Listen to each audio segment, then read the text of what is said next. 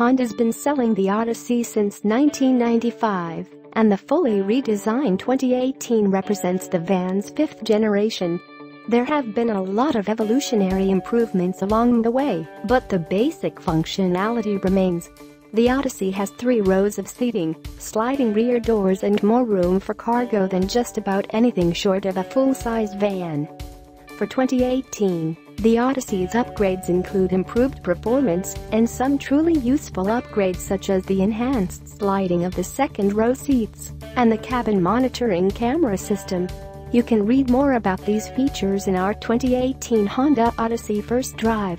Overall, we're fond of this Odyssey and think it's a wise choice, particularly if you're a new parent or if you're looking to own something with that same driving spirit found in other Honda automobiles. It makes that whole responsibility thing a little easier to swallow too.